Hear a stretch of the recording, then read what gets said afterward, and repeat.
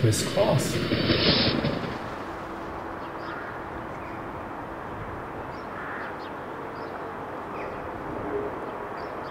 Crisscross. It's so simple too. A couple of fellows meet accidentally, like you and me. No connection between them at all. Never saw each other before.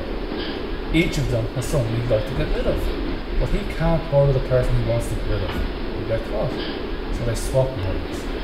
Each fellow does the other fellow's murder. Then there's nothing to connect them. Like you do my murder, and I do yours. The one who had the, had the motive isn't there. Each fellow murders a total stranger. Your wife, my father. Crisscross. We do talk the same language, don't we, God? Sure, we talk the same language. Thanks for the lunch. You think my theory is okay, Guy? You like it? Sure, sure, Bruno. They're all okay.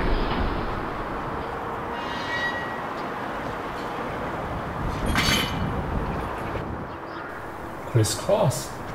Hey, Guy.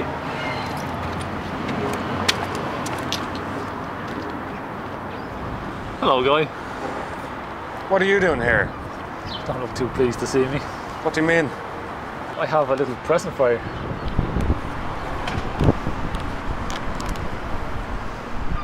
What does this mean? Recognise them? There's nothing to worry about. It was all over very quick.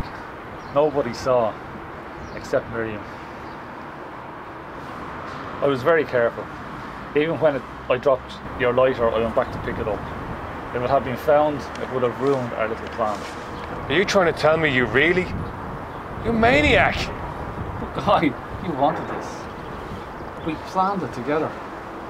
On the train. Remember? Where are you going? Where do you think I'm going? I'm going to call the police. You can't do that.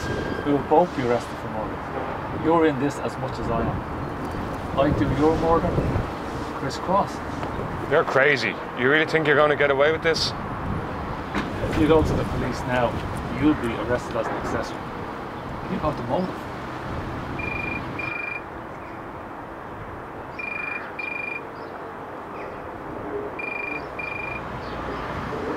I think someone has some news for you.